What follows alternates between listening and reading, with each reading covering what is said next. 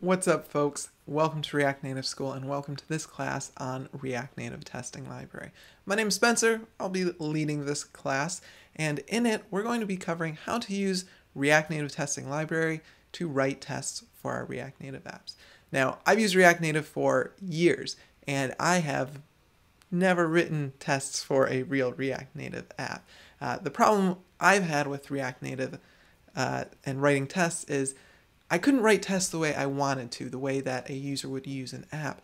And when I could do that, the setup was insanely difficult to first install and then second to manage with different upgrades.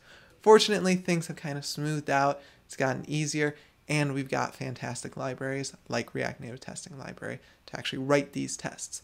So throughout this course, what we're going to do is learn how to use the different APIs React Native Testing Library uses, how to use those APIs to write snapshot tests, uh, unit tests, integration tests, and all that good stuff. So if you've ever felt like you've been putting off writing tests, but it's something you want to do, definitely consider joining React Native School and set checking out this class so that we can actually start writing those tests that we've been putting on the back burner.